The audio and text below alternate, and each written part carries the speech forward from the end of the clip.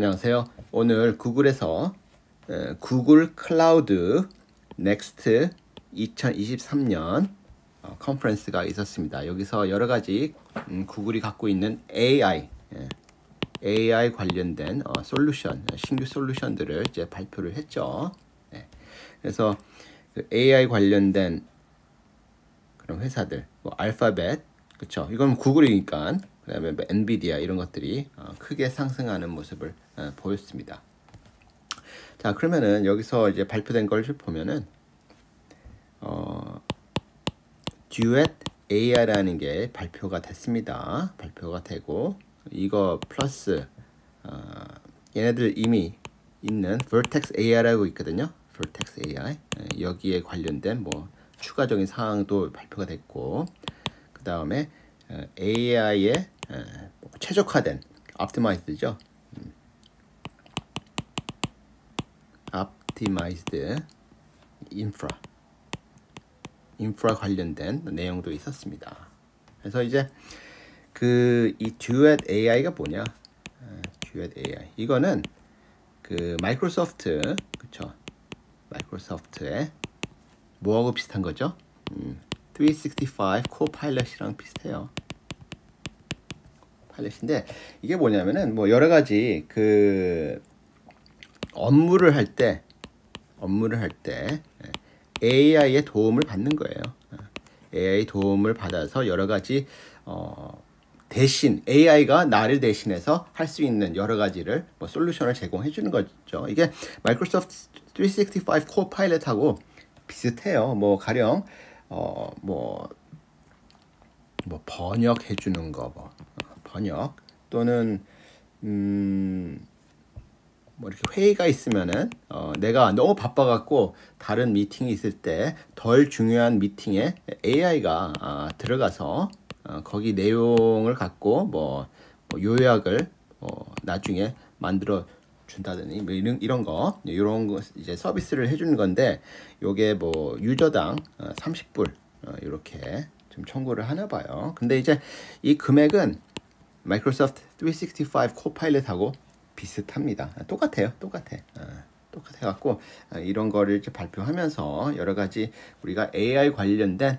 어, 업무상의 실제로 실제로 이제 돈을 받고 서비스를 해준다 뭐 이런 거를 이제 발표한 거예요. 그러니까 이런 거는 좋은 거예요. 왜냐면은 어, 기업은 뭐 사회 공헌하는 건 아니잖아요. 그렇죠? 일부는 하지만 근데 실제로는 돈을 벌기 위해서 영업을 하는 거니까 이렇게 유저당 30불 청구한다. 뭐 이런 거는 굉장히 좋은 거예요. 이렇게 되면 뭐예요?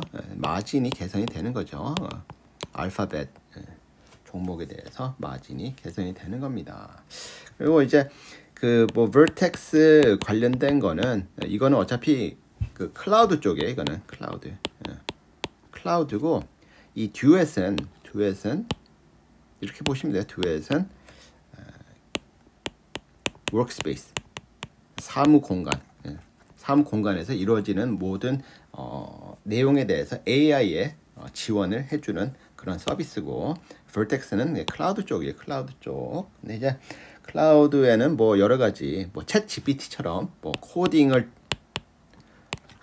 도와주는 것 또는 뭐 여러 가지 어, 여러 가지 자료를 갖고 뭐 데이터를 분석을 하고 그 결과 값을 뭐 주고 그래서 이거는 개발자들한테 도움이 되는 거죠. 그래서 vertex는 클라우드 쪽 관련돼서 AI에서 뭐 여러 가지 서비스를 해준다 이런 얘기 있었고 그 다음에 어, 하이라이트는 이거예요. 제가 봤을 때는 그 AI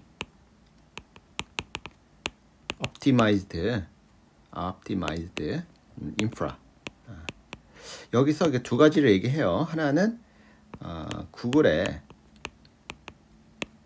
custom custom 칩도 어, 제공을 하되 여기에 어, 더해서 이걸로 할까요? 음, 이걸로 합시다. 어, 엔비디아는 연두색이니까 초록색. 엔비디아 어, H100 칩을 어, 인프라에 사용하겠다. 그러니까 이게 뭐냐면은 어, 알파벳하고 엔비디아 간에 지금 파트너십을 강화하는 모습이 보였어요. 강화하는 모습. 그래서 지금 요거를 제가 요 두 개만 갖고 온 이유가 아, 이렇게 알파벳하고 엔비디아가 이 AI 관련돼서는 조금 이 협력이 좀 강화되는 측면이 보였다. 이 구글 클라우드 Next 2023에서 그래서 지금 그 AI 관련돼서는 현재 칩이 어, 그러니까 이거 생성형 어, generative AI AI 관련돼서 어, 칩은 현재 H100가 현재 거의 유일해요. 어, 유일해요. 근데 지금 뭐 Q4 때 음, AMD가 AMD가 이제 대항마를 내놓으려고 하죠. 대항마 뭐죠 이게? MI300이라는 어, 칩입니다. 근데 이제 지금 이제 구글은 엔비디아하고 강화를 하고 있는데 그럼 AMD는 과연 누구랑 강화를 할 것인가?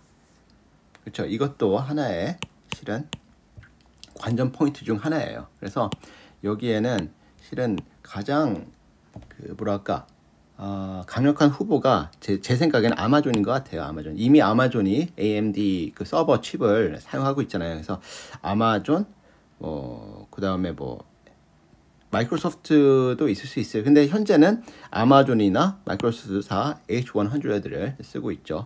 근데 이제 그 이 둘의 가장 큰 차이는 뭐냐면은 뭐 기술적인 걸 다 빼서 다 빼고 스펙 다 빼고 가장 큰 차이점은 뭐예요? 가격입니다. 가격이 엄청나게 싸요.